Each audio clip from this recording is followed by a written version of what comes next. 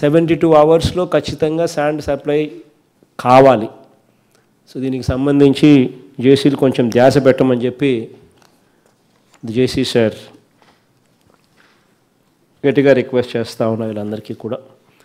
Sand మన దగ్గర total quantum of sand కూడా మన దగ్గర బాగానే ఉంది.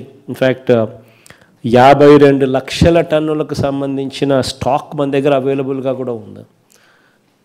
సో ఐ థింక్ బ్యాక్లాగ్ అనేది ఎక్కడా కూడా లేకుండా సెవెంటీ టూ అవర్స్ అనేది ఖచ్చితంగా మెయింటైన్ అయ్యేట్టుగా చూసుకునే దానికోసం అన్ని జాగ్రత్తలు తీసుకోమని చెప్పి ఆల్ ది కలెక్టర్స్ అండ్ జేసీస్కి ఇద్దరికి కూడా స్పెసిఫిక్గా చెప్తా ఉన్నా.